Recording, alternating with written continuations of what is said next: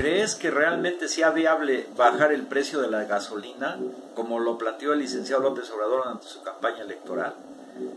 Bueno, miren, yo soy Ramón Jiménez, soy profesor de matemáticas del Instituto Politécnico Nacional, ya jubilado, impartimos 35 años clases ahí y hemos hecho algún análisis al respecto. Primero quiero comentar que importar gasolina del exterior ha ido aumentando paulatinamente. En el 2012 importábamos el 40% de la gasolina que se consume en el país.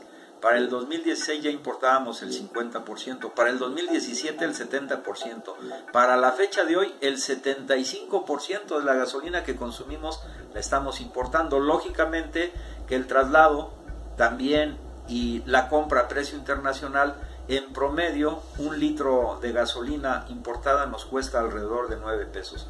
Pero eso hay que agregarle los tres impuestos que pagamos cuando llenamos el tanque de gasolina entonces, pues está 18, 19 y la premium pues es más cara todavía. Ahora, nos da mucho gusto que Rocío Nale haya anunciado que se van a destinar 25 mil millones de pesos para rehabilitar las refinerías que actualmente tenemos. ¿Por qué razón? Porque ni al 80% están trabajando, ni al 70%, algunas menos todavía del 60%. ¿Por qué? Porque algunas con el pretexto de que están en mantenimiento han reducido drásticamente la capacidad de refinación.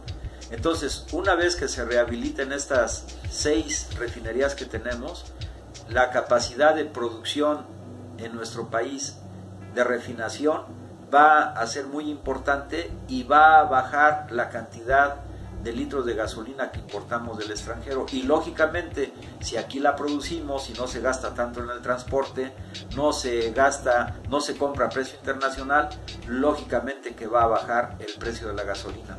Pero también nos dio mucho gusto lo que anunció Rocío Nale el 8 de septiembre, en el sentido de que para inicio de año se van a invertir 50 mil millones de pesos para iniciar la construcción de una nueva refinería por lo menos se van a construir dos en este periodo próximo. Pero construir una nueva refinería implicará también aumentar la producción de gasolina en el país, dejar de importar gasolina cara y empezar a producir gasolina barata, porque algunos dudan de que por qué una nueva refinería, mejor seguir importando las gasolinas, no es viable. No, están muy equivocados o sus opiniones son muy interesadas para que se siga haciendo negocios con la importación de gasolina.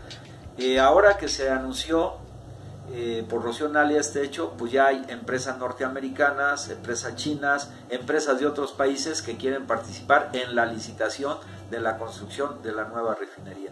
Nosotros, eh, reitero, pensamos que el precio de la gasolina, una vez que, como dijo en la campaña López Obrador, ni una sola gota de petróleo crudo salga del país y todo se refine aquí, podrán costar, incluso ya con un impuesto moderado, 6 pesos el litro de gasolina. Entonces la posibilidad real de que baje el precio de las gasolinas está totalmente comprobado. Eso es en medida de que México tenga soberanía, tenga autonomía para producir de manera autónoma esta gasolina.